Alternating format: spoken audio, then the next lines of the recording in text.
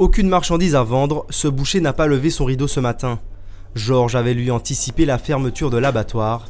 Il s'est organisé quelques jours avant pour avoir de la viande en stock et satisfaire ses clients.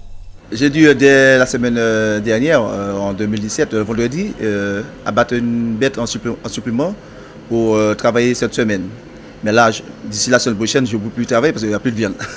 Mais cette semaine, j'ai une bête pour compenser une semaine sur deux. Cet autre artisan est bientôt à court de produits frais. Il vend ses derniers morceaux avant un chômage technique inévitable.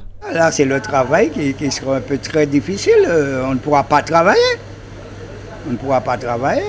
Bon, j'ai eu la viande de cette semaine, mais je ne sais pas comment je serai la semaine prochaine. On n'a pas eu le temps. Si on, si on le savait, on aurait pu se préparer convenablement. Une situation que déplore le syndicat des artisans bouchers de la Martinique.